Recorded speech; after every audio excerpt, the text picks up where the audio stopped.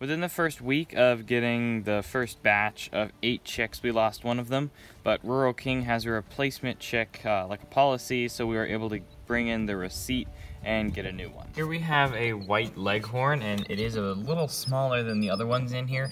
They grow so fast, you want to try to keep similar ages together. You don't want to have older, significantly older ones and significantly younger ones. They won't get along together.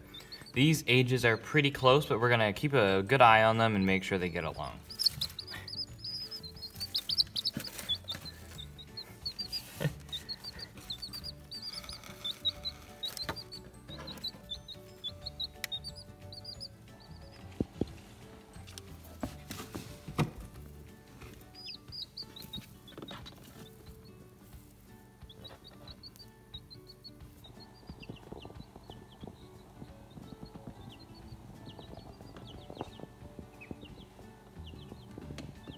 And well, she went right over to the heat lamp, and it seems like so far they're getting along okay, but definitely keep an eye on them.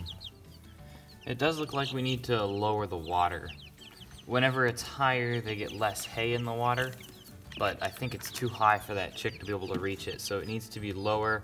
We'll just need to clean it out more often.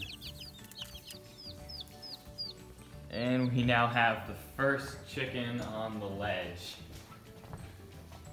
Well, now we'll have to cover this with the screen. Because they will keep getting out at every opportunity that they can. And by this point, the little chicken is totally fine. You can see she's uh, like in the pile with the other ones and they don't mind her and they're definitely getting along. And she is definitely part of the flock now.